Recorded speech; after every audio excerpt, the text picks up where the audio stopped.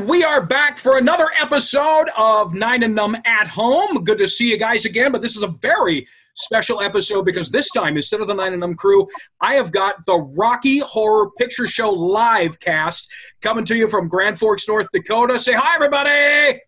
Hello. Hi. Awesome.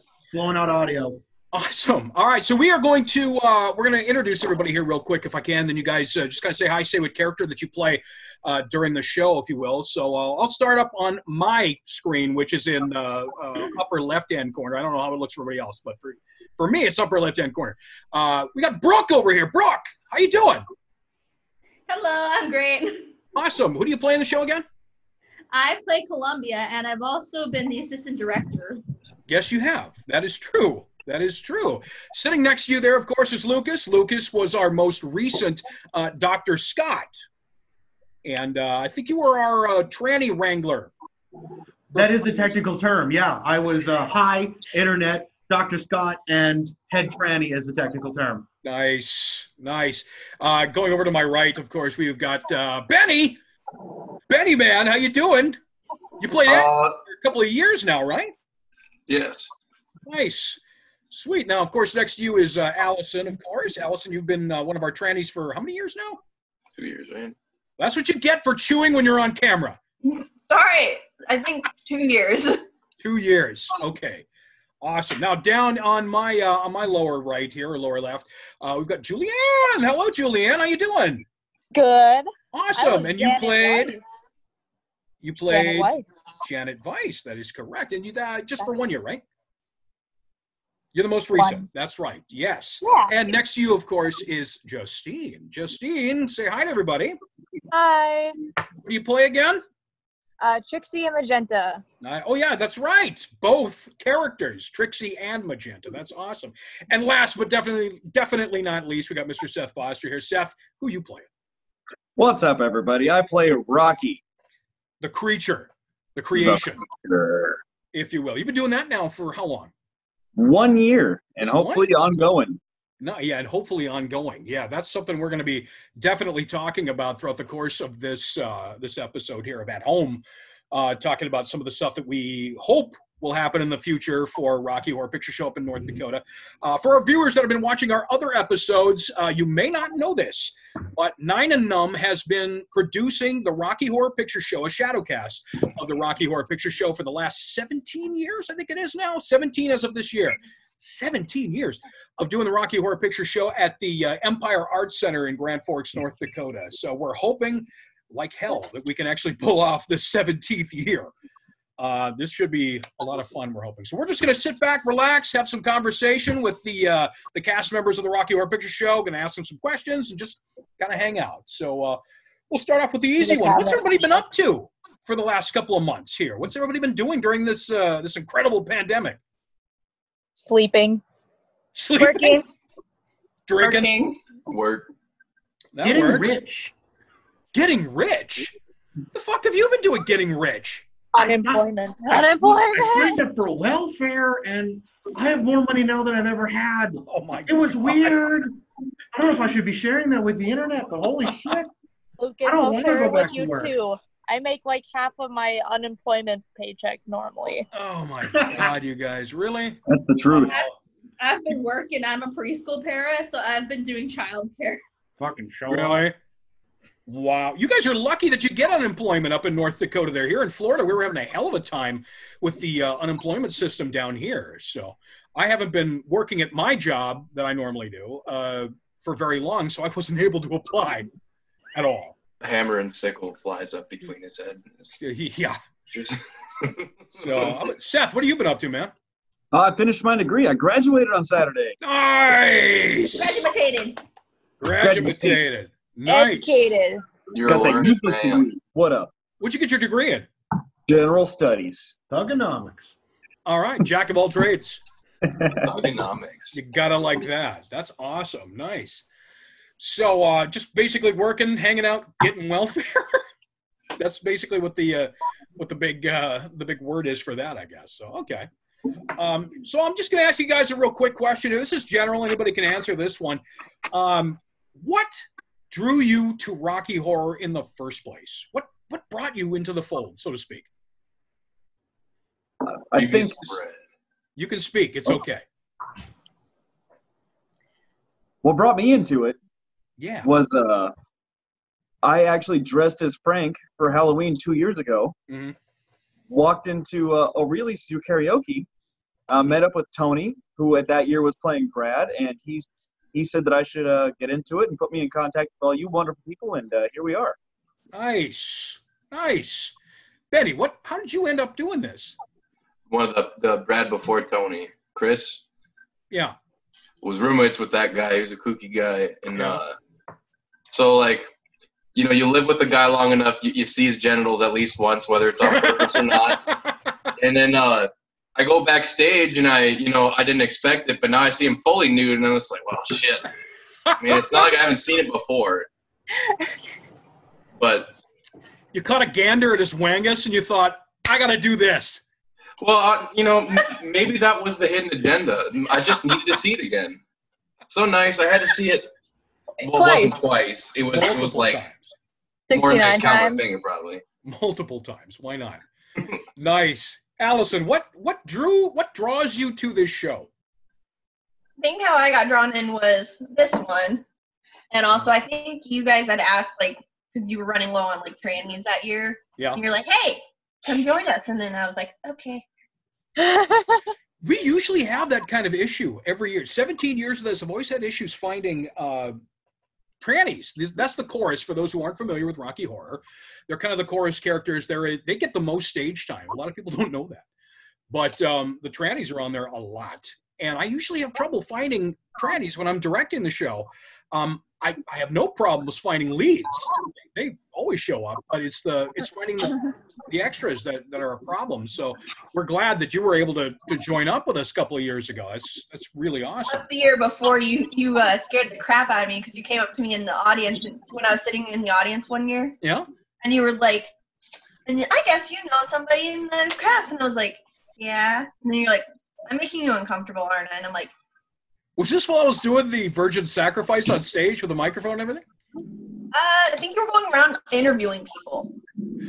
That was the year that we had the uh, problems with the projector, and I had to I had to banter for a full thirty minutes uh, oh, on the fly without knowing what the hell was going on because our tech guy uh, was trying to fix the problem, and so I had to run out into the audience with a microphone and just bullshit for thirty full minutes after midnight. At midnight. Yes, and that was just nuts. I didn't know you were one of the people that I interviewed that night. That's crazy. Yeah, I was the one who was like super scared and like shy because that was the first year I ever was at the Rocky Horror Picture Oh Show. no! So I didn't scar you for life because you ended up doing it on stage. Yeah, pretty much. Win-win. Uh, Win-win. this was, yeah. Holy shit! So we got down there, Julia. What uh, what what brought you into this? So I've known Rocky Horror since I was about like 14, and when I heard they did live performances in Grand Forks, I was so excited. But I lived here for three years without ever seeing it, and then my lovely roommate Justine and castmate um, was like, "Hey, we still need a Janet," and I was like, "I've never even been to a live performance, but yeah, I'll be Janet." well, it worked out in the end. It worked out. I think So- it did. So, had you ever done any any theater or anything on stage before you started doing? Rocky? Yes, I have done three years of theater previously, so I'm very comfortable with that. Oh, good. But it was the nudity more so that was weird. we didn't even kiss at my high school theater. Like we did the cheek to cheek holding hands thing. oh, Gross. Yeah. Did you go to Did you go to high school in What do you Grand Forks? The other or- one. No, I went No. in Dickinson, North Dakota. Oh, Dickinson. Dick, Dick, and what? Son. Dickinson. Son. Oh my Dickinson. God. Son, We oh, we're the Dickinson midgets. If Yeah. you've heard about that, I mean, you are short. that's the entire school. That's the public school Holy. system. Fuck. I'm surprised they haven't changed that yet. Oh, we had a visit from like the international like little people organization, But you know, if you if you're on the school board and you're like, hey, we should change the name, you somehow end up not on the school board. You disappear.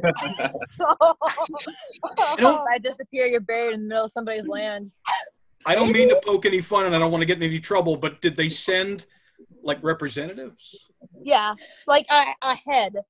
Oh a no, no, they were normal sized to- They brought just a It was head like- with them that spoke to you. Sorry, what? Just checking. So, Justine, what? How did you get involved with this? I mean, I remember seeing your audition tape that you had sent, but I'm wondering what drew you to Rocky Horror in general. So I've been a fan of Rocky Horror um, since about 14 as well. I got interested in ninth grade. My uh, friend showed me the movie around that time, and also probably shouldn't say this, but uh, a couple of my friends snuck into a show with their mom um, when they were like in their like sophomore and junior year of high school. Was this one of my Yeah. shows? Yes. How the hell did you get past security? I don't know. They're with their mom, so Oh. and they dressed up and everything. I don't know, Kelly. Money tell me. spends. But anyways, uh, yeah, no, I saw the saw the audition post online one day while scrolling. I was like, should I do it? Do I send in a thing? And I I did it. So yeah. We're glad you did. We're really glad that you did. Thank God you did. And Seth, last but not least, how did you get involved with this? Uh, you know, same as everybody else, it seems. Uh, right around that time frame, ninth grade, 14, 13, uh, I really got into it, and um, I thought it was just really cool. It was kind of out there counterculture. You know, I thought that was Mhm. really, you know, because everybody's got to fight the power at fucking 14. Um, but uh, I've been interested in it since then, and then meeting Tony uh, through karaoke at O'Reilly's, which I can't wait for it to open back up. By the way, O'Reilly's? That's a bar? Yeah, it's bar in downtown O'Reilly's. Forks. Sorry, Oh, okay, cool. Marking this is local. Um, Cool.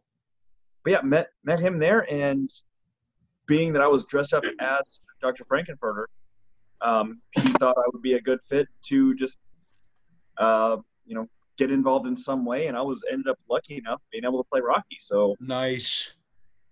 Nice. Well, that's great to hear. I'm glad to hear that. We, I have to say this. This is going to sound really arrogant, really mean, I'm sure, but I have seen a lot of Rocky Horror casts around this country. I really have. I've seen them in Minneapolis. I've seen them in uh, Chicago.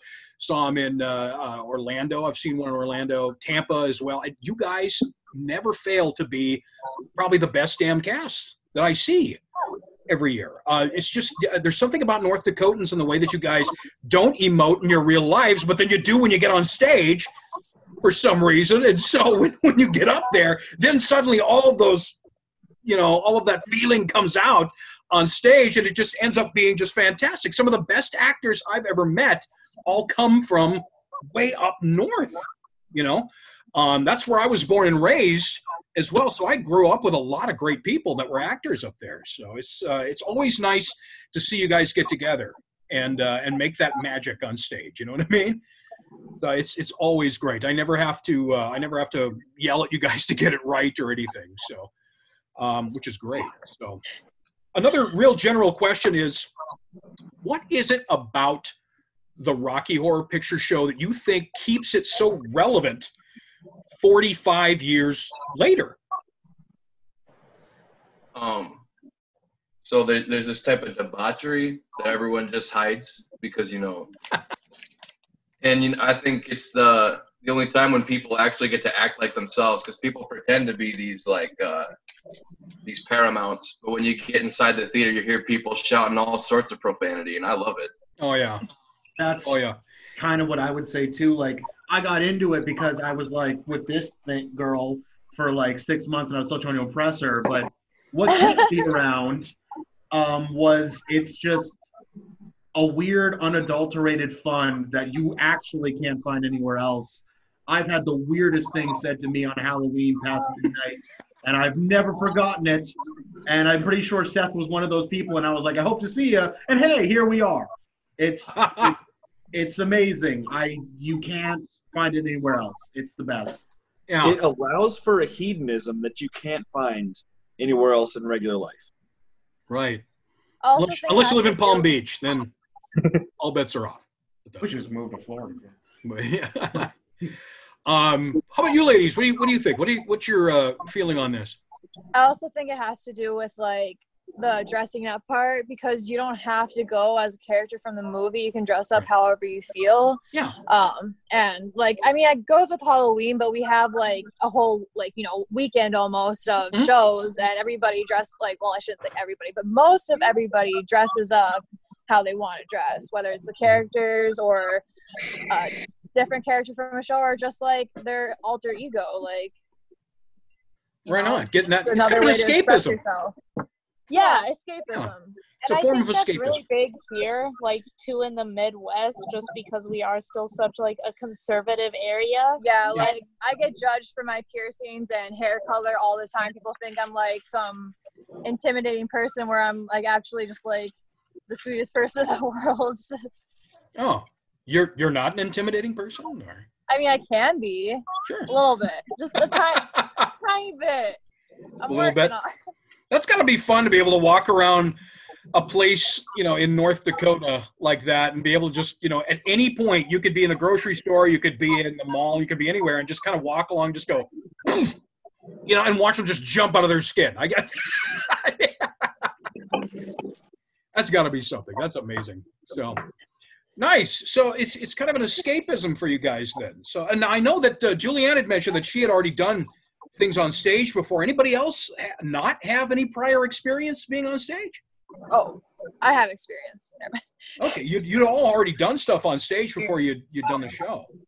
Like my last experience with the stage was probably when I was, you know, nine or ten years old. Oh, okay. Really? Yeah. Really? It had been that long? Oh yeah. It was uh, the last show I did prior to Rocky Horror was uh, Schoolhouse Rock. Damn.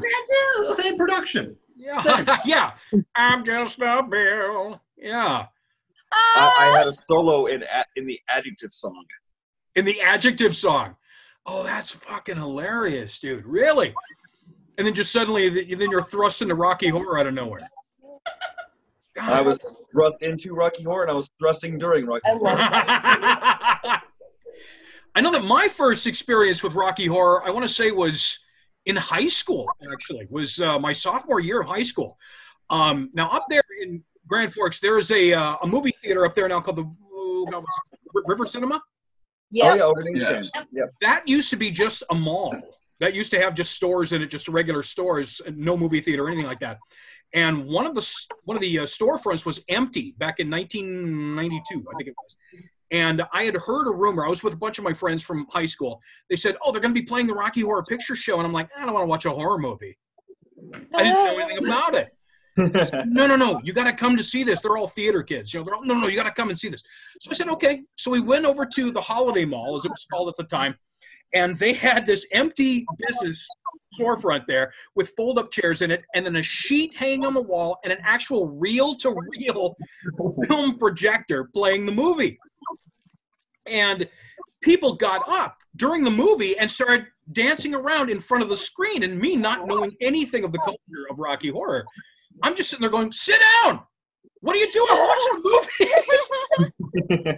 I'm getting pissed at home going, what the hell is this? This is dumb. Throwing popcorn and bread. Yeah, I'm sit down. You know, not knowing anything about it. And then finally, I, you know, after the whole experience was over, I walked away from it and I thought to myself, never again. And here we are. Yeah, well, and then uh, we started Nine and Numb up in Grand Forks, the improv troupe up there. We were playing at the Westward Ho at the time at the uh, uh, Gaslight Lounge when that was still around, the Comedy Gallery.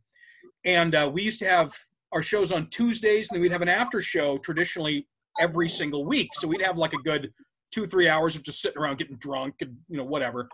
And somebody threw in the Rocky Horror Picture Show again, and then everybody just like in unison got up and started doing the time warp and shit.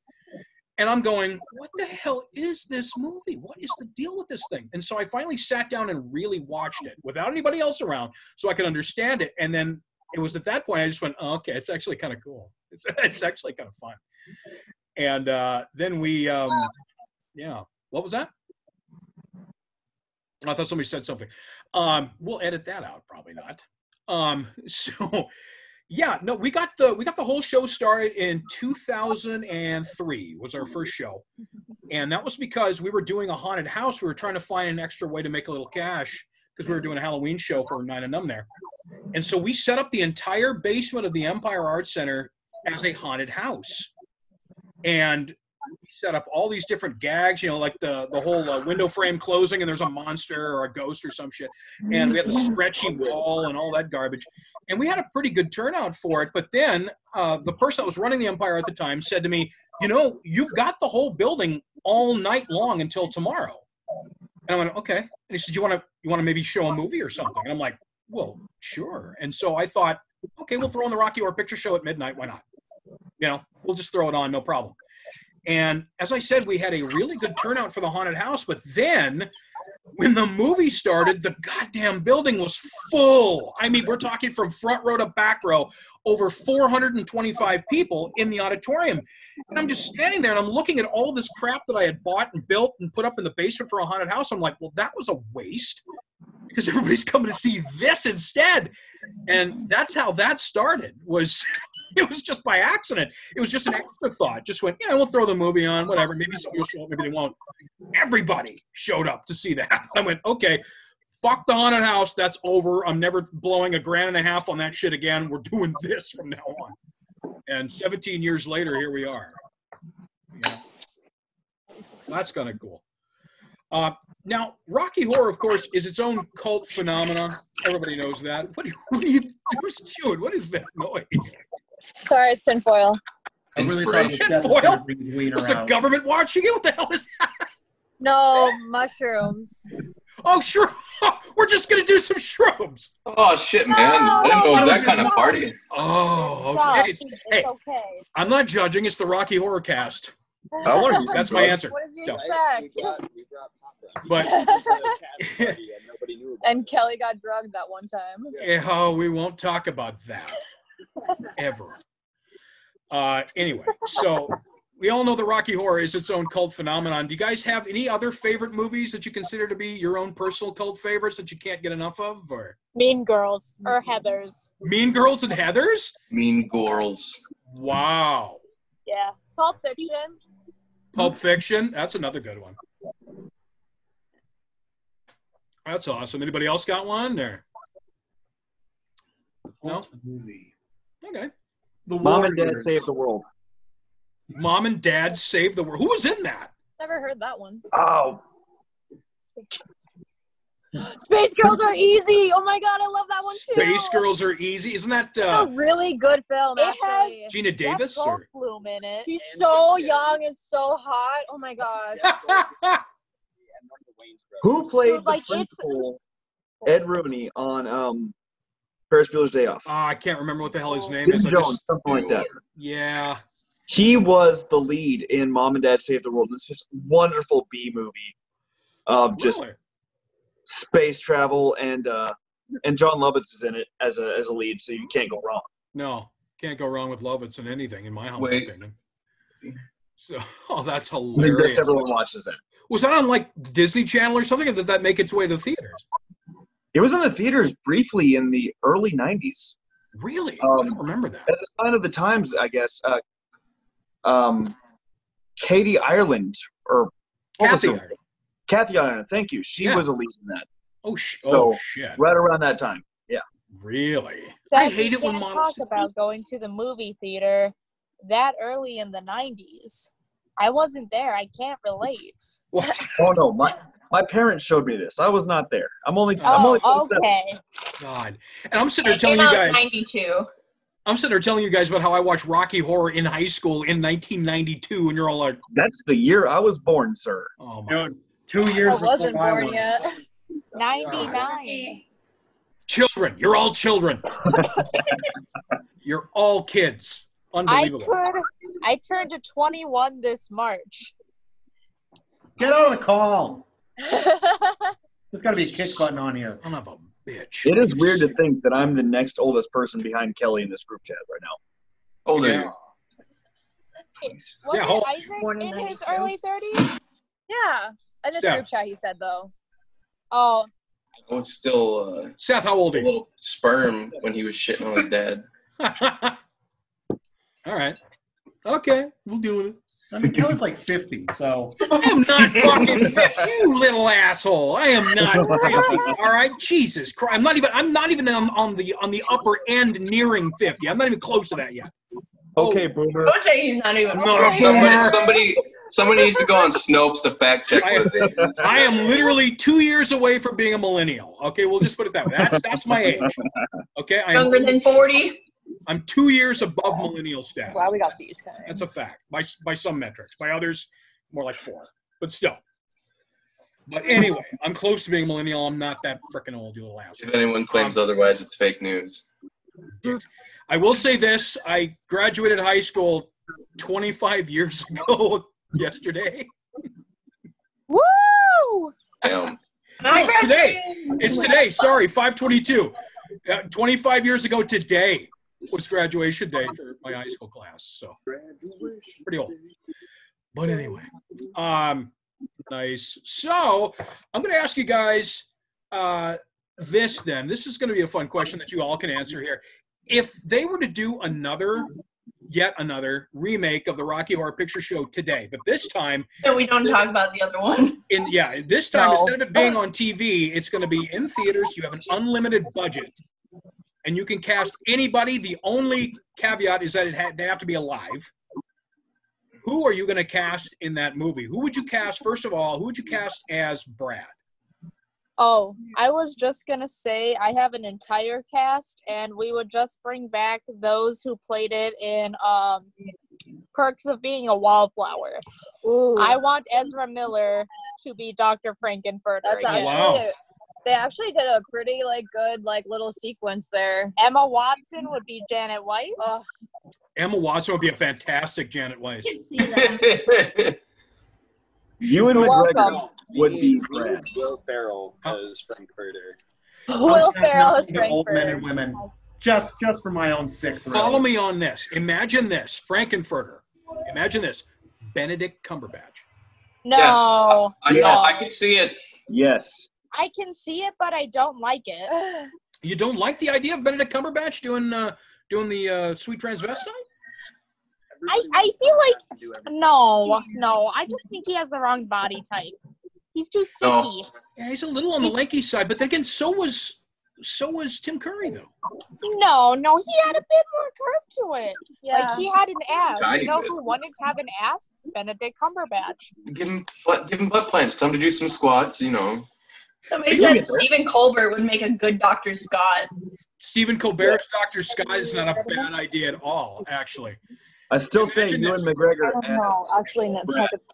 John C. Ewan Brad. McGregor is Brad. Ewan McGregor as Brad is not a bad thing either. I was actually thinking, uh, what the hell's Jesse Eisenberg? No, absolutely not. I like your Eddie Really? All right, so maybe we can all agree on this one then. How about this one? New Eddie, Jack Black.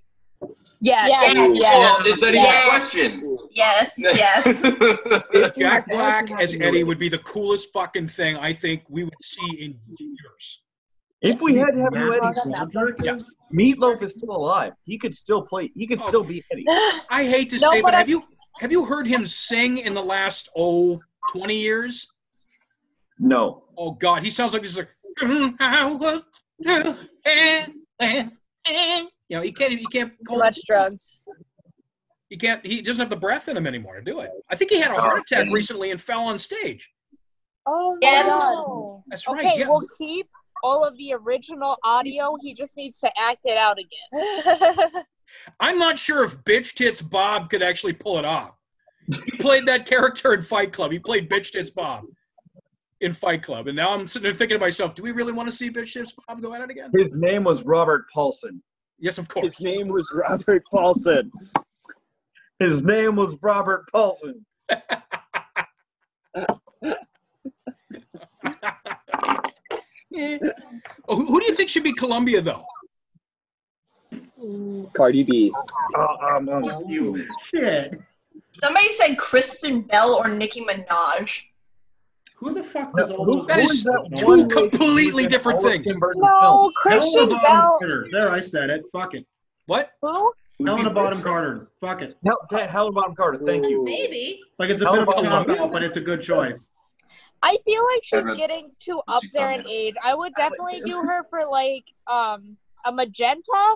She's more of a magenta than a Columbia. Columbia Bella Thorne. Ooh. That one. What about Billie Eilish? No. See, no. I feel like she'd be more of like a side character just because like she's already her own character. She'd make a great tranny, but she's too fake sad for everything.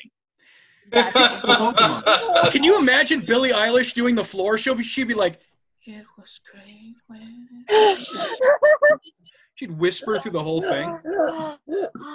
Now, check out my. Here's my choice for magenta: Lady Gaga. Be sick. Lady Gaga is magenta. Yes. Consider. I'm okay with that. What's Maybe.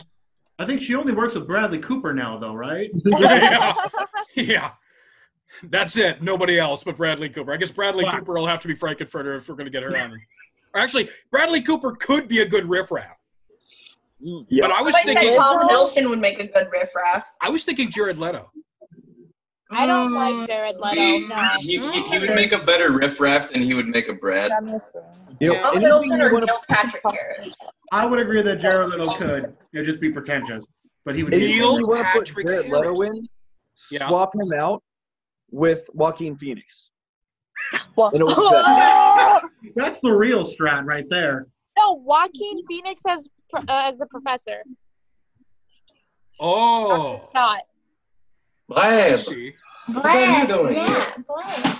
As Dr. Scott. You know who I had picked for Dr. Scott? I shit you not. Ooh. William Shatner. Yes! Oh my god! Sexy. I thought Bill Shatner would be oh, phenomenal, What are or you doing here? or Betty White. Oh, I guess now he would be out.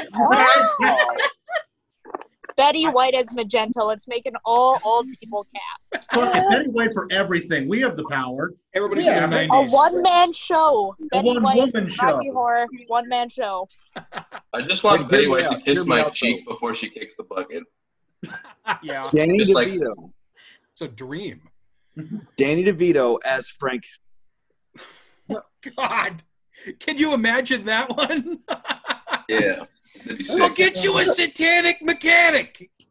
I like Danny DeVito more than Cumberbatch.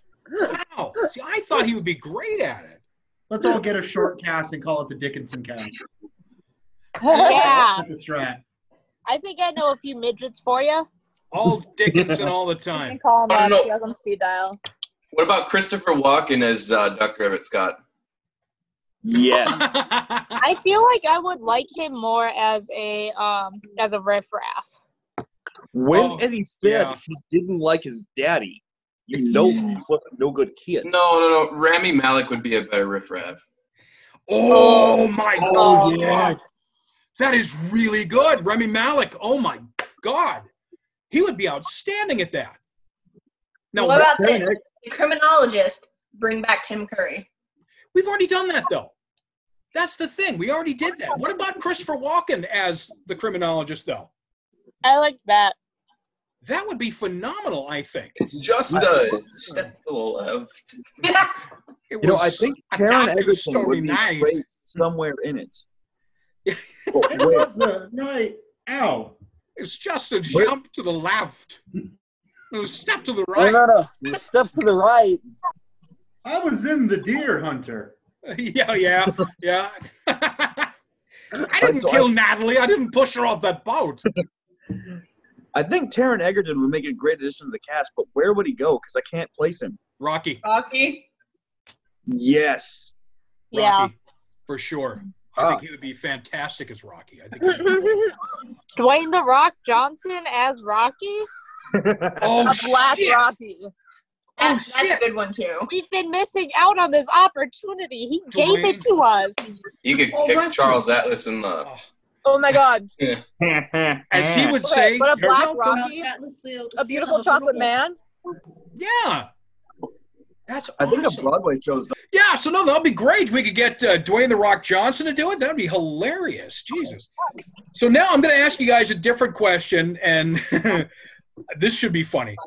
What is the in your time of doing Rocky Horror? What is the wildest thing you've ever seen happen during the show, Uh, backstage, on stage, anything? What's the wildest shit you've You go. seen?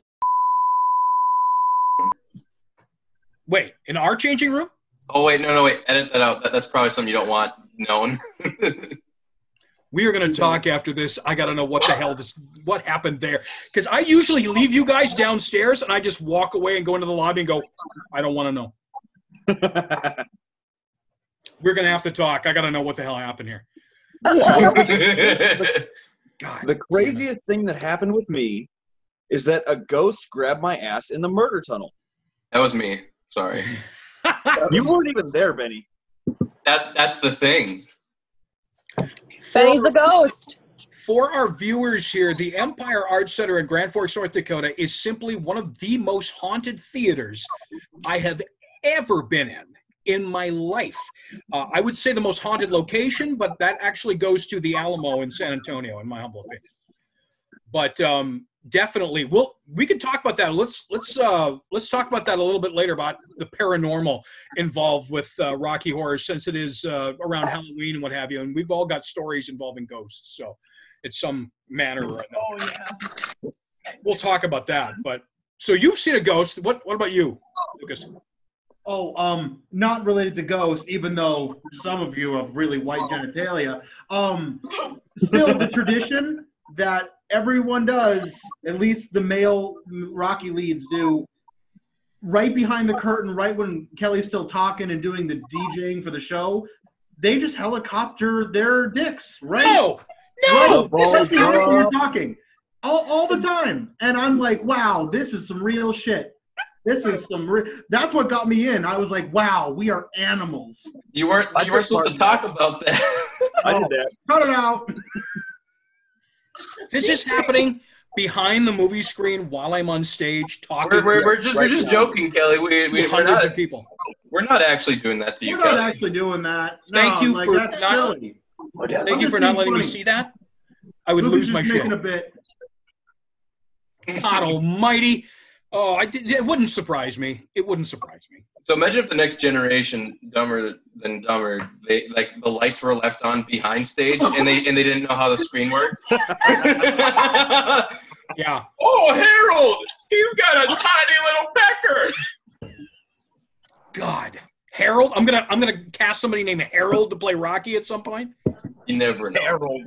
Fucking the next generation's gonna have weird ass names. Why not put Harold in there? God, yeah. We could just- funds. We could just bill Seth Seth as that name. No one has to know. Yeah. I'll be Harold. I'll be Harold all day. I'm going to tell everybody, welcome to the show, everybody. And behind me, you can't see it on the screen, but Harold is whipping his pecker around. purple You know, crayon. this last season, uh, when we did the ball drop, as it's called, it was me, Tony, um, Zach, Benny. Were you in it? Were you doing the ball drop with us? Maybe I don't know. So me, Oh. Tony, Benny, and Zach all just whipped our junk out right in front of the entire audience. We were looking him in the eye. All of our Oh, yeah, because you can see through the screen, but they can't see you. exactly. Oh, God. Yeah, we were just we were Oh. just hanging tackle back there, man. Man, if they could have saw it, if they if they would have saw it, we would you, we would be getting parts left and right. You know, we don't have to worry about getting a job ever. Number one, I'm not Thing, surprised. I was- Number I one, was I'm not watching surprised. backstage once, and I caught a glimpse of that. I looked, and I just kept walking. I am so shocked that none of you ladies have sued yet. Thank I you for live with not. this one, so Oh, my You You know, made us sign a contract saying we couldn't. Just kidding. Just kidding. Just kidding. We. Well, you know, backstage generals are out a lot.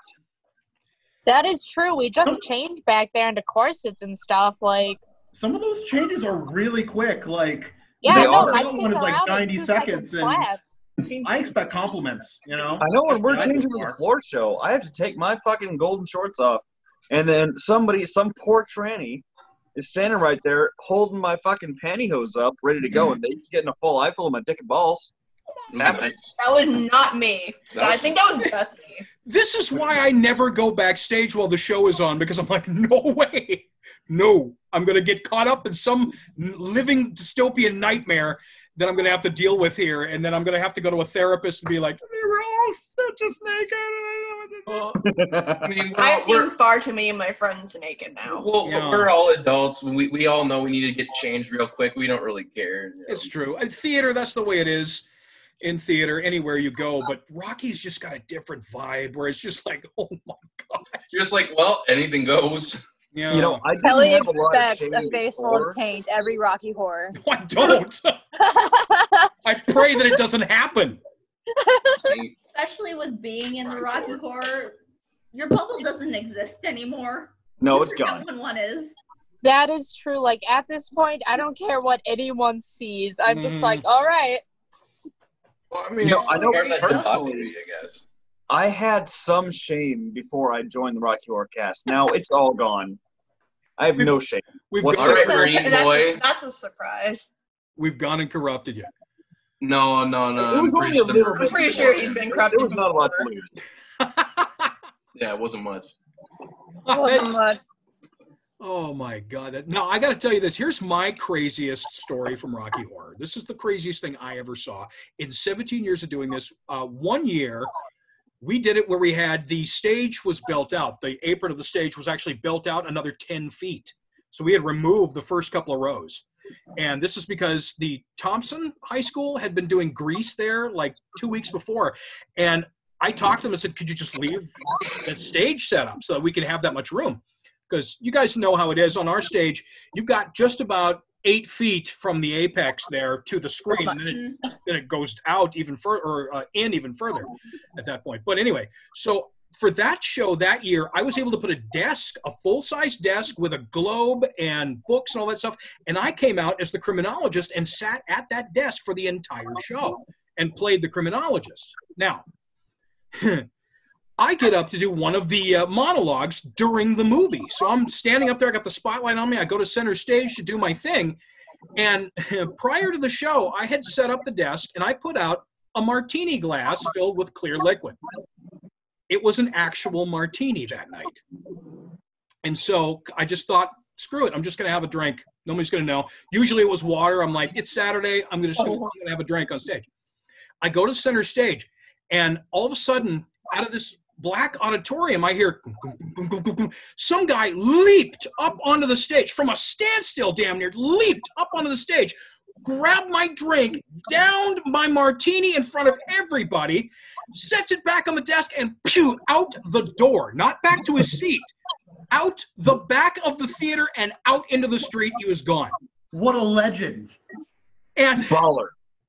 The worst part is, is that our our uh, spotlight text for that year had they put the spot away from me and put it on him. Yes. So I'm standing there with this mouth agape thing going, what the fu-? And there's a spotlight on this guy just go, go, go, go, wham. And then they followed him all the way out to about row J when they had to stop. And then phew, out the door he goes. And I'm left standing on stage. They put the spotlight back on me and I'm just doing this and going, and yeah, so that was definitely the craziest frickin' thing that had ever happened to me during Rocky Horror. I mean, I've got a hundred other stories that I can never ever tell, but that's the Welcome to. North Dakota. Yeah, Well, just That put one I them in can the tell. group chat. Don't tell them here. yeah, no, I'm, but no, that was the craziest one that I can talk about. Maybe the second craziest one was the year that a guy got called out during the show into the lobby. He was getting a phone call. It was his dad was mad at him for being at Rocky Horror, and his dad showed up, came to get him, and they had an argument in the lobby while the movie's running. He gets pissed off, turns around, and punches the a hole in the wall, and then leaves with his dad. And I'm like standing there in the lobby, I'm staring at this hole in this historic theater's wall. I'm going, ah, ah, ah. so yeah, I got the bill for that one. Oh my god. That And sucked. that was expensive. That was not cheap. I'll say that. That was not nearly as expensive as the year that our riffraff went through a pane glass window. Ooh. Yeah, we were doing one of those late night tech rehearsals that we used to do until about three in the morning. And our riffraff at the time had ordered a pizza because he was hungry. And the pizza came. And so he ran out into the black lobby. It was totally dark in there. And he went to go and get his pizza. He saw the pizza guy standing outside, thought it was a door, and walked right through a pane of glass went right through the window. And we hear this enormous shattering noise. I'm like, oh God, what the hell was that? So I go out into the lobby, and there he is lying in a pool of blood in the lobby. And the pizza guy standing there just with the pizza in his hand, just staring at everything, going, uh, uh, you know. And I'm like, what the hell, dude? And no, I thought it was the door. He goes, and so he had to he had to go and get stitches. He had to go to the hospital, get stitches, three o'clock in the morning. And we had to be on stage the next night. And so he's kind of limping around because it was his leg that he got stitches on for the rest of the show. In Christ, he's riffraff. Uh, yeah, thank God he was riffraff. Yeah, so we could sell it. But yeah, no, I've got I've got a hundred a hundred crazy ass stories that are like that. But yeah, that's that's just nuts. So, Justine, what is the craziest thing you've seen?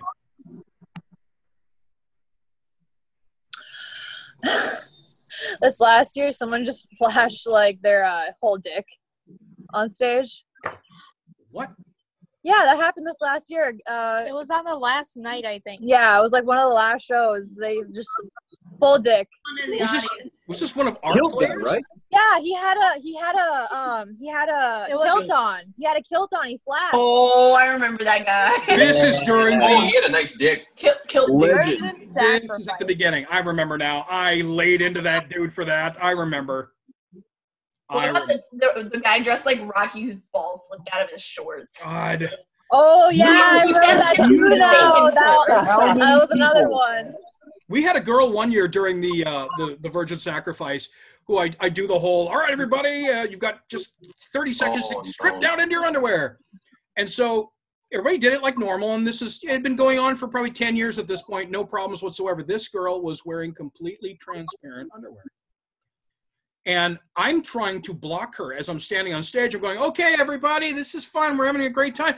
And she keeps like, without no, she never, even, it never even occurred to her that she was wearing completely transparent underwear.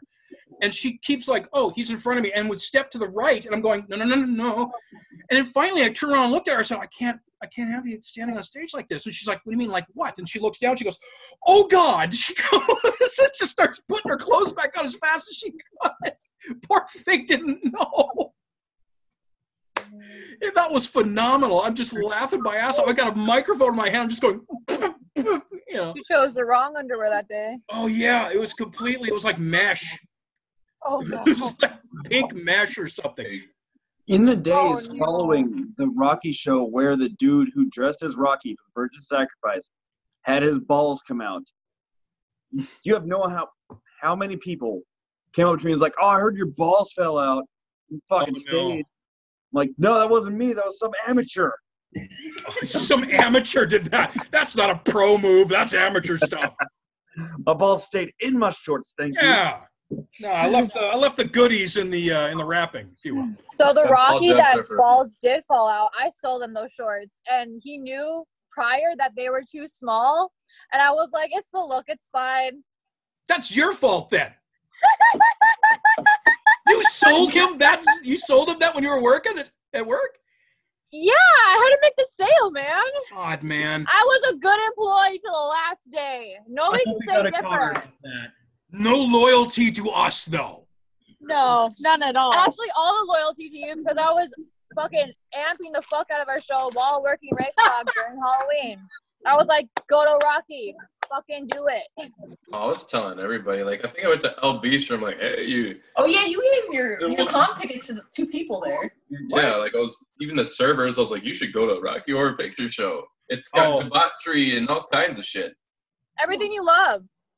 And then your friend, no I think your your friend my comp tickets. The um, Rocky whose balls fell out Yeah. is a weird ass dude. He hangs outside of the bars because he's like 19. He hangs outside Oh. of the doors of the bars and just fucking talks to people about how he wishes he could go in all night long from about nine to two. He just I- stays there. Oh my god, dude, get alive. Yeah, let's not mention names though, because they can't defend themselves here. But Well, I don't know his name, but Yeah. he's weird. We keep it. We keep everything away from our work. Ironically, like Well, I'll we'll, tell people we'll in the just call this. but Let's call the dude bitch tits. people come up to us and are like, "Hey, you're doing a play," and we're like, "No, what? What are you talking about? We're not." At least I tell my coworkers what it is, but I keep it very under wraps because again, I do work with preschool age. So it's a bunch of four year olds. Yikes! And my middle school crowds are like, "Hey, you're, we want to see your show," and I'm like, "No, you don't. Uh, we wouldn't let you in if you wanted to, anyway." No, unless you're unless you're Justine, then apparently you'll get in under the age. Apparently. Oh I yeah, wasn't she snuck the in, didn't show. I was in high school as well. Have any of the parents ever come up to you saying they've seen the show? yeah, Parents? Oh God. Parents? at least one. Student Uh, when, parents? we, when we do a lot of our practices at that space, uh, God, what is that called?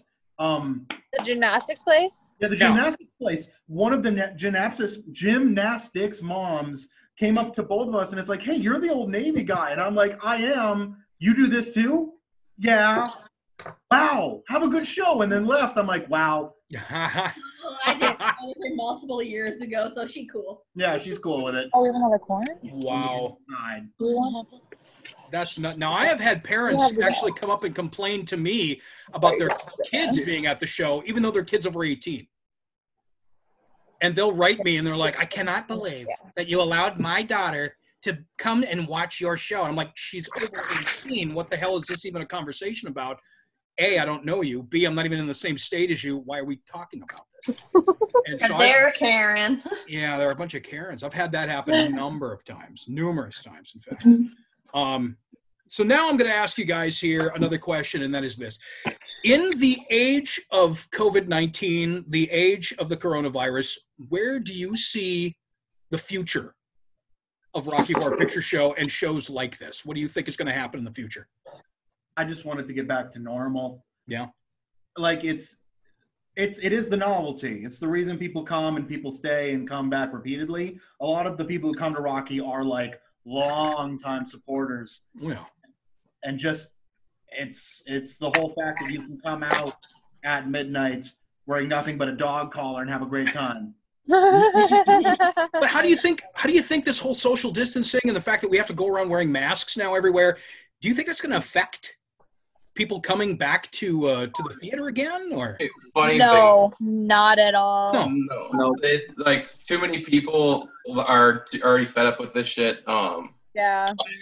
If anything, uh, every generation's had one plague that were like, oh shit, We're gonna w- die. there was like washing your hands is like an actual thing. Who would have known? right? And then, uh, and I guess now, because like I've, I've been to plenty of public bathrooms, and just like people my age and younger are just like, I'm just gonna pour some water on my hands, and I'm pretty sure I got shit particles, but I can't see it, so it's fine.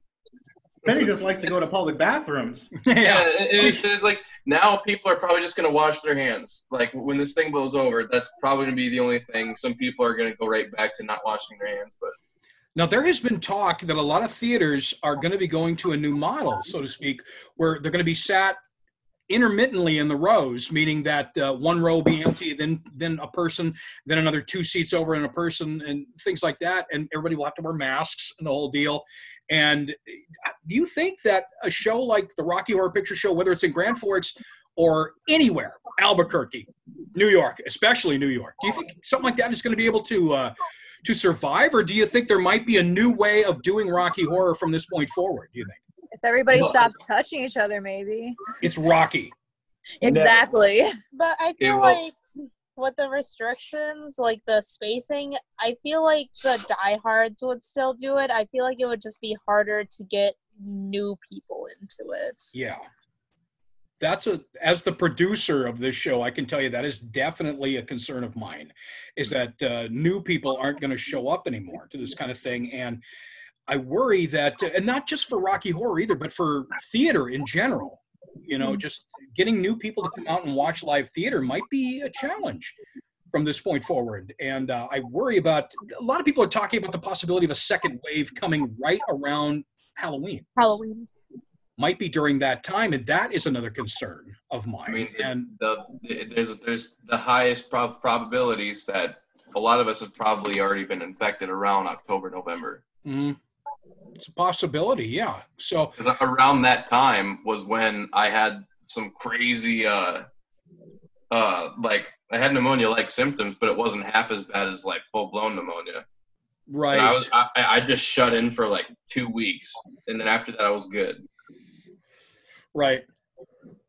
Now I know, uh, Brooke, you you work pretty closely with the local community theater there in Grand Forks. Uh, have you heard anything at all about plans for what they're going to do in order to reopen? Or Well, I heard for the latest show that just got canceled for like this past April Mhm. that both of us are in. Oh. We're thinking about maybe doing it again in September, but a bunch of restrictions are going to be enforced, like wear gloves, wear masks, gloves though, streaming even. streaming it that could be taken. It's it's a lot, and it's ironic that it's like a mystery too. So it's like we're wearing masks, and it's like I wish I could read your face. Yeah. That's crazy. Now, how how are you going to be stream something that has? I mean, getting the rights to just perform it live is one thing. Getting the rights to perform it live and stream it over the internet, that's got to be just really prohibitive. I can't imagine. I don't. And the, the worst part is, is like I talked about this with our Brad, who I wish was here, but it's okay. Is like theater as an art form is meant to be like in front of you, like you can look up and see the guy. I don't know if people would like pay money to stream a show on stage. You know, like that's just crossing wires into something that you know. Yeah. Go to an actual film for that or a television show. Well, how, how do you how do you uh like if someone wants to go out like to a theater and berate me, they can't do that if they're looking at a computer screen because they like they're staring at you're they're screaming at their laptop. They're not screaming at me. Yeah. Yeah. That's something that, that I think is going to be very interesting from this point forward is seeing how theaters are going to be able to move forward. Now, I, I also worry as the producer, I worry that people are going to think that this is just the movie that we're playing, and then they're going to show up and see actors on the stage, and they're going to be like, "What is happening here? You can't be near each other like that." You know, I worry a little bit about that. Um, is- go ahead, Seth. Oh, sorry. I was just saying. I personally think that with everyone's, uh, the majority of people's attitude towards it now, that when it comes time for at least our show specifically, come uh, next October, that it'll be essentially blown over. I don't want to say blown over because this is the wrong word. Yeah. But um, public Le- lessened. I think it'll go the way the swine flu, the bird flu, SARS, uh, Yeah. all serious diseases, but was a huge scare and then kind of gone away almost as fast as it started. That's my hope. Got and that's handled. my Yeah, that's that's a big hope. I know because uh, I've been in contact with a number of other Rocky Horror troupes, and we're all asking the same questions right now. Like, what the hell are we going to do? Um, so right now, as of this moment, this is for our fans as well, not not just for you guys, but for our fans that are watching as well. Right now, there are no plans to cancel the Rocky Horror Picture Show for 2020. God Goddamn right. I still have to talk with the uh, with the venue to come up with some guidelines, come up with some answers. I'm thinking perhaps closer to August we might have some better ideas, and I think they'll have a better idea of how they're going to do things as well at that point. Um, so hopefully, fingers crossed, we're hoping that we're going to be doing the live show as always, and we'll be back for our audience again for the 17th year in a row because we've never missed a year. So we're hoping that that should be what happens. So we're very excited, hoping. Um, I work for a major theme park. I'm not going to name them, but I work for a major theme park here in Florida, and we have a Halloween event that is that brings in thousands and thousands of people. Uh, right around that same time that we're going to be doing Rocky Horror up in North Dakota, and I know that they've got concerns as well. How the hell we're going to be able to pull that off uh, with a, with this second wave looming over us as a possibility? So there's a lot of decision making is going to have to make or going to have to be done soon, and that's going to be very very interesting to see that. So Think of it like this. Like like I said, there's too many people are kind of fed up with this shit. People are gonna they're gonna go back to what they were doing before, whether or not like because uh, they become desensitized to things so quickly. You see on the news all these tragedies happening. People are like, oh, how sad, and then a week later they don't they don't even remember it. So they're gonna go and they're gonna go whether or not there's you know, something on the news saying things. we could call it COVID fatigue at that point, perhaps. Media fatigue on the whole situation. Uh, so I got to ask you guys this: How is how is the situation up there with the uh, the the COVID nineteen thing going on here in Florida? We locked down pretty damn tight for a, about a month and a half, and Looser I, uh, than a goose. what's that? Looser than a goose. Said- Yeah, Sorry. go ahead. Go ahead. Uh, So, but I mean, we we locked down real tight. How did North Dakota handle it? Did they, uh, you know, did you guys go through a full lockdown situation? Um, you know, the everybody being told you cannot even leave your house. Don't we go to weren't the in a park. mandatory lockdown at all. Really? No, We, no. we, we had a we had a short lived where uh, a bunch of businesses were like, no, we're not doing it. hmm You're gonna die if you come here. Where like um, th- th- there, there's legitimate concerns. Um, Yeah. But uh, short after, everyone just kind of slowly Yeah. just started opening up again. Well, that's good to hear because no, we were Tampa, Hillsborough County in particular, where Tampa is located. That's where we're at right now, is in Tampa, where I'm at in Tampa here. And Hillsborough County went on such a lockdown that they were threatening fines and jail time for anybody that was seen out on the beach, anyone that was in a park, anyone that was out in the open, so to speak. Well, I and mean, now if, they're if, if you're if you're by yourself and you're gonna give someone a thousand dollar deferred charge, if you did if you did that in Texas or or any sort of conservative state, you'd also have to know that there would be repercussions to, to, if you try to enforce it. Yeah. that's what we're I mean, seeing in Michigan right now. I know Double that. check that. seeing that pretty heavily in Michigan, seeing that in Pennsylvania, California, right now as well. I mean, luckily, we had a really good governor here, and he kept things pretty white, you know, pretty pretty open for the most part. It was the mayors and it was it was the the city councils that really uh, put the lockdown. We had a guy who was doing. Um, uh, he was opening his own game store. He had a game store in St. Pete, and uh, he got arrested, full on arrested, just for doing curbside people weren't even coming in the store and he got arrested for that so i i was just uh, really curious of how north dakota handled this because i've got family up there still and uh, they haven't really you know they don't really say anything about what's going on because they like being at home anyway it's in our genes uh, we're homebodies most of us Do you want an idea of how North Dakota's doing right now, one of our trannies is just hitting up the bars. Yeah. well there you go I'm probably going to be One of joining. our trannies is honestly. just setting up the bars right now. there you go nice What a well, champ. The message let's, just came through. In brooke you that got something what Benny said with North Dakota, like it's kind of eh right now mm-hmm. because people just don't care anymore. Huh. Well, I'm glad that you guys still got to keep some semblance of normalcy up there. I, I can't imagine what it would have been like if you had been locked down real tight and after being nine months of winter, more or less, you know, we and would then, lose our fucking A lot of people I don't really imagine. do much anyways. So the, the moment things open up, they're going to be like, well, we're going to do some things and then shut away again. yeah, yeah, right. That's First- that's got to be tough to know that it's just going to get colder again here in a few months. You know, Yeah, we're almost half a year in already. Jesus. I mean, personally, I'm livid that I can't go do karaoke as soon as I get off this call. Yeah, Yeah. That's my thing. That's what I do. Just gotta sing into the street. Yeah. I mean, Well, I'm- I'm personally, still gonna being go to the in bar, retail. Oh, sorry. No, go. Oh, I was saying I'm still going to go to the bar, but I don't think there's going to be karaoke, and I'm mad about that. Yeah. Oh, yeah, yeah. I was just saying with like work with retail, I'm so happy to be back. But um, at where I work, we enforce masks because it is still a pandemic, and so that's really fun. We get angry people.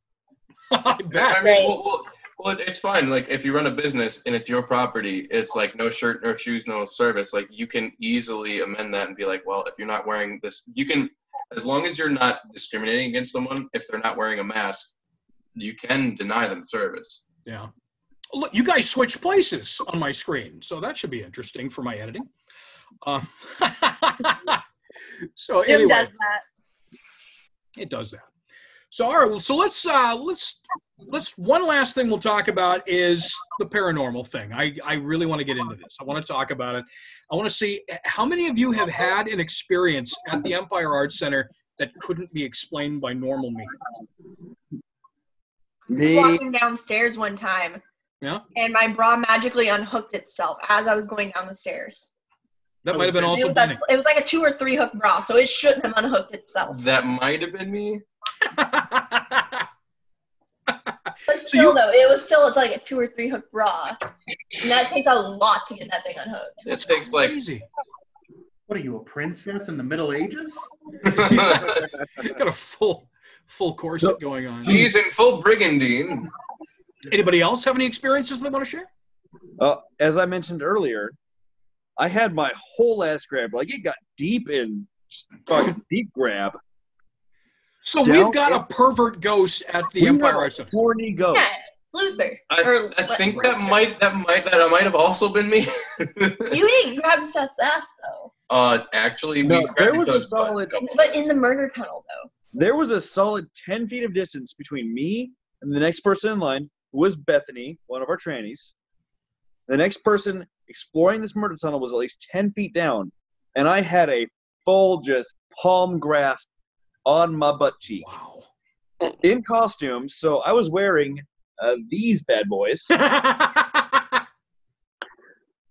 and nothing else. wow. And someone got in there.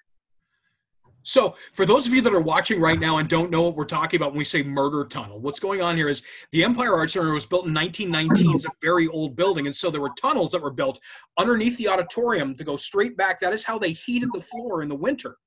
And these are concrete tunnels with brick in them and, and what have you. And uh, they're very low to the ground. You have to bend all the way down in order to get through them. And that is where a lot of the uh, the activity has happened in that theater. A lot of the paranormal, if you will, has happened in those tunnels. So that's what we're talking about when we say murder tunnels. That's and they are as creepy as you think they are. Like Oh, it starts creepy. off okay, like with storage, and then it just keeps going and going, and it gets Yeah. more sandy and pipey, exposed pipes, and like creaking everything. And it's like, wow, I, this is genuinely fucked in here. Yeah, it's The like everything you've ever seen on a ghost hunting show right there in one place. You know, I mean, Can I just say- what? Can I just say I don't have to bend down to get through those tunnels?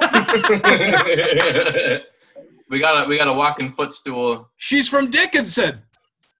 yeah, I'm a midget. I'm actually, I think, two inches away because I'm five feet tall, and to be a like a legal midget, you have to be four foot ten or under. I think the only person shorter than you was uh, Bethany. She No, is a legal taller than her. midget. Oh I my swear god! Bethany's taller than her. He's a peanut No, character. Bethany is shorter than me. We compared. She is a legal midget. Really? You can't be a midget unless you come from Dickinson. Otherwise, it's just sparkling short, Or is you're just a poser? Or just a. po- How do you pose being short? Just a poser. You walk on your knees and get special pants made. There you go. Our star on our basketball team was seven feet tall. He goes, he lives in Fargo now, and he would have to like duck down to go through normal sized doorways. Please tell me he kept his midget's jersey. I'm pretty sure he was a star of our basketball team and he plays in Fargo, so Phenomenal. yeah. Phenomenal. That I is just fantastic. Excellent. Anybody else got any ghost stories, real quick? From the Empire. Uh, I guess for me personally, I just only experienced uh, seeing shadows and then Yeah. being watched. Right, right. Uh, they really didn't fuck with me per se, just because I think they knew that I knew that they were there. Because hmm I would literally just look straight at them, Yeah. but then I wouldn't show them any fear, so I would just keep going. Now, Maybe it's because we're both ghosts. yeah, Brooke, you were saying something. Uh, I agree with Justine that like I've seen shadows and I know if a person is watching me and I just kind of let it happen. Yeah. Huh. I think I me gotta- and Brooke don't get fucked with though because we don't really pay, like we pay attention to it, but we don't feed into the fear of it. right. Yeah. Now we I'm a have little done. disappointed personally. Go ahead. I taunted them so bad. I just walked down those stairs into the basement. and, Hey, you bitch ass ghost, come fuck with me. You know, just saying shit like that the entire time I was in the basements. And the only thing that happened was they molested me a little bit. That's a bit depressing. They didn't do more. now I will say this. I will say that because I felt that they are watching the girls change into their costumes. But Yeah. yeah. fancy with the men. No. Well, Either way, there's no consent. So Either way, we Very have done ghosts. we have done two official ghost hunts in that theater that I've been along for the ride for. I've called in two completely different paranormal teams to come in and do uh, ghost hunt on that theater, and we have caught things both times. And as far as we are aware, we know that there are two female ghosts and one male ghost. One is a, uh, one of the females is a child, and uh, the male ghost is just plain mean. And uh, we have um, uh, EVPs as well, uh, voice recordings. We have caught something on camera underneath the stage as well, so we do have video footage of that. A face that shows up uh, as well, very angry looking face, I might add. And uh, I know I have had more than a few moments in that theater. I did not believe in ghosts until I started doing shows at the Empire Art Center. Bottom line, I have seen things. I've been attacked in that theater. I got pushed up against the wall and choked uh, over by the furnace because that's where we were keeping all of our props for the year one time. And uh, I went in there to look at the props and I got pushed up against the wall and a hand on my throat. I could not breathe. Um, another time I had, uh, I was locking up the theater for the night after a technical rehearsal. Everybody was outside in the parking lot. The whole theater's dark, just pitch black. And I felt something chasing me up the stairs from downstairs. I booked all the way around the corner and then out the back door there, shut the door. I'm like, no, that didn't feel right. I don't want to do this. Then my phone went off. There's nobody in the theater. My phone went off and it said Empire Arts Center on the phone. And I picked up the phone. I said, hello. And then it hung up on me. And that's when I went, we're done here. I'm getting a paranormal team in here. And uh, that so, yeah, that happened. Ghost then. I don't like that, Kelly. I don't want to go back. It's I real. I, as far as I'm aware, it's real. I mean, come on. Uh, other people are going to tell me I'm full of it, but those are my experiences. The, uh, not this past year, but the year before, I was setting up the pizza downstairs in the uh, the big giant green room that, the, that we have, and you know they have those curtains that are up in the hallway, black Oh, curtains yeah. there. I'm setting up the pizza. You guys are all upstairs doing whatever. I'm setting up the food and everything, and I turn and look, and the curtains had parted, and there's a face staring at me, and it goes like that, and it shut immediately. Now I hadn't noticed. I noticed the face, but then you know the curtains are off the ground by about a, two inches or so. There was there were no feet there, and so I went over and looked. I threw those curtains open and looked down the hallway. I'm like, "Hello, hello," and nobody's there. And uh, so that was another interesting story. But this last year is probably the one that gave me the willies the most. Really? I came out of my Janet Weiss again. I was downstairs. I come out of my dressing room because I have my personal dressing room down the hall. And I came out of the dressing room, and I'm not going to name her by name because she's not here. But one of our trannies, as I was as I opened the door and I shut it, I got my tuxedo on, I'm getting ready to host the show. She comes walking down the hallway towards me and just gives me the stink eye. And I'm like, whoa, okay, sorry. I don't know what you're mad about. She just kept on walking and started going towards the stairs. So I just turned my back and went, okay. So I went upstairs and she's standing upstairs talking to you guys. And I'm like, that's impossible. You were in the you were downstairs and I didn't pass and there's no way you could have made your way around and up around she would have had to go past me up the stairs to go and talk to you guys fast as she did because I saw her went up the stairs and there she is standing there talking to you guys. So that was probably one of the spookiest moments of my time there. You guys, some of you might even remember me saying that. I walked up to her, I said, "You were just downstairs. How the hell?" And yeah, no, she gave me the stink eye as she was walking by. Like it just felt like she was mad at me. I'm like, "Whoa, excuse me. I'm sorry. I don't know what you're mad about. We'll talk later, but I got stuff to do." Right up the stairs, she's standing there and she's happy as a clam. Everything's fine. She had been in two places at once, so the one So now you're downstairs telling me was clearly not her. Shape-shifting ghosts in the Empire. Something like well, that. with demons, um, there's actual demons that can mimic. Mhm. Um, they're they're called mimic demons, literally, um, and they can take any form that they have come in contact with, Yeah. like human, um, and just you know take shape as them.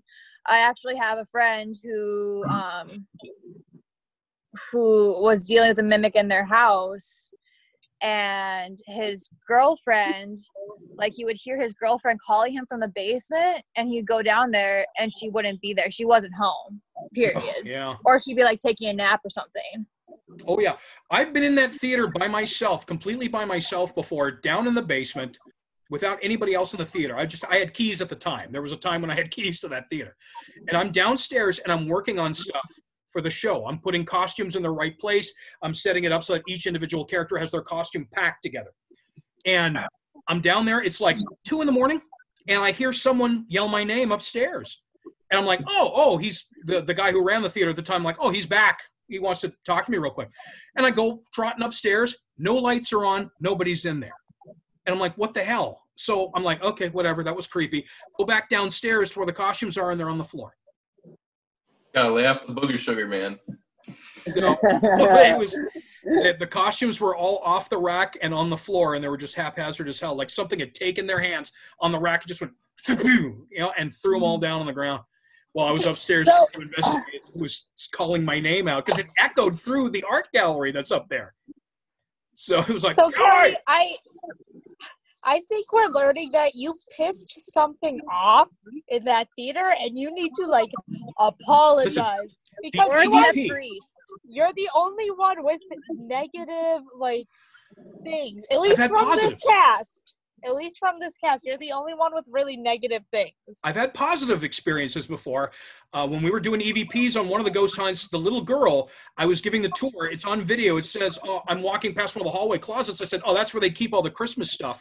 And then you hear a little girl's voice in the background go, "Merry Christmas." And so I have that on. I have that recording as well. So that's kind of cute. Um, we have one where um, I'm in the tunnels downstairs, and you hear me because it's just an audio, and you hear me go, "Okay, guys, maybe we better head out of here. We'll we'll head back up." And then you hear me go, "Whoa!" Because I felt a hand on my arm. I didn't hear anything at the time, but I felt a hand scrape my arm. And when I went back into the light, I had three scratch marks on my arm. And on the EVP, you hear a woman's voice say, "No, wait, just a minute." She wanted me to stay. Whoever she was had grabbed me and wanted me to stay. And uh, so that's an that's another real good spooky one. But um, She didn't want you to encounter the man again. That's what happened. You didn't wait, Kelly. You didn't wait. the guy has called me a dumb bugger on EVPs. He's actually said, "You dumb bugger." Here in the background as I was talking about him. He didn't like me talking about him. I think he's the one that's attacked me. I think he's the one I that feel caused like- trouble. I feel like he just doesn't like Rocky. He's not cool. Maybe might be an old farmer who's just like, "This is stupid, you dumb I've bugger." not, I've not once been messed with. I even like one night with one of my friends decided, you know, what if we use a talking board? And I use one, and nothing. Ouija board didn't. bring- didn't Benny, bring you just opened a portal. Yeah, you caused this. Benny, did you just kill us all? It always goes back to Benny. Mhm. He's the root cause of everything. Benny just kills us all. Benny's a master of disguise. He grabs butts. He undoes people's bras. He's just Strangles trouble on feet. Uh, I, You I really just want to know who molested me. You know, which one was it? Was it the young girl? Do I need to be like fucking worried about that? Was it the adult lady? Or was it the dude? You know? You'll never know. Maybe it was the lady trying to tell you to wait. She didn't want you to go ahead of the group. That's rude. It's, it's true. Make The little girl, the little girl hangs out in that tunnel. I have seen her in the tunnel when you're when you're on one end, and then you got the other end, and you see her head peek around the corner real quick and then go back. I think she's playing hide and seek. And I've, I've caught her doing that before, where I'm walking in. I'm like, let's let's look down the tunnel. I flip on the light, and the head goes like that, right past the right past the corner of the wall at the end. And I'm like, oh, sweetheart, you're playing playing a game with me, I guess. So I just shut it back off again, and I leave the room because I'm like, I don't want to I don't want to mess with this. I don't I want to play. What if you win? What if you win, Kelly? Then I become What a if he gets too. dragged to hell? Then, then, then he uncovers that some fraternal order hit a body in the wall or something way back in the day. You never know. Maybe you That's would free her spirit. Play, Eh. Kelly. Play. I should totally. I'll do that in October when I The get up fact there. Justine just looks freaked out when you said that. That's Justine was Anyway, like, so no, no, Play, no, Kelly. no.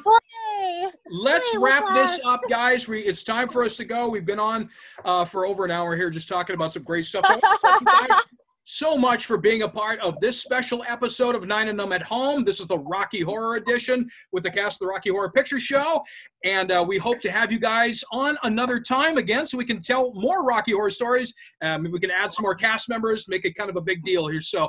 Without uh, any further ado, I want to say thank you to our viewers for watching. Keep your eyes out for our next episode of Nine and Numb at Home and have yourselves a great evening. Thank you so much.